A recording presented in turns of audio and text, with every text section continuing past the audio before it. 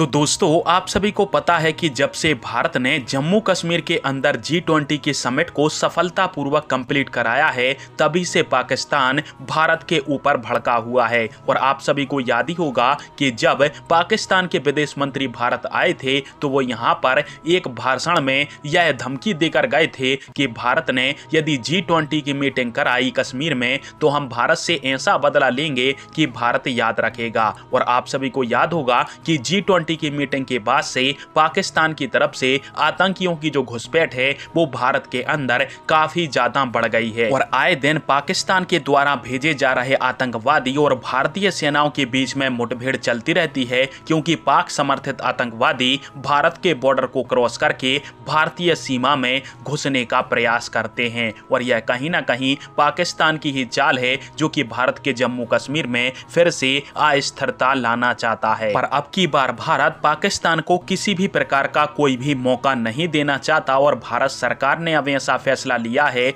कि पाकिस्तान के आतंकवादियों से जम्मू कश्मीर की घाटियों में निपटने के लिए जम्मू कश्मीर में कोबरा कमांडो की तैनाती करी जाएगी। जी हाँ स्क्रीन के ऊपर आप सभी स्क्रीन देख सकते हो, जिसमें यह जानकारी दी गई है। दरअसल, पाकिस्तान के जो आतंकवादी हैं, वो ऐसे इलाकों से घुसपैठ करते हैं जहाँ पर घने जंगल हैं, क्योंकि ऐसे जंगलों में आतंकवादी विरोधी अभियान चलाना सेना के लिए थोड़ा मुश्किल होता है, परंतु भारत के जो कोबरा कमांडो हैं, उनको ट्रेनिंग ही ऐसे जंगली इलाकों में युद्ध लड़ने के लिए किया जाता है, जिसके कारण से अब भारत सरकार जम्मू कश्मीर के इन जंगलों में हमारे कोबरा कमांडो की तैनाती करने जा रही है, ताकि हमारी भारतीय सेना के द्वारा जम्मू कश्मीर से जो आतंकवादियों का ऑल आउट ऑपरेशन चलाया जा रहा है, उस ऑपरेशन में कोबरा कमांडो भारतीय सेनाओं की मदद कर सकें।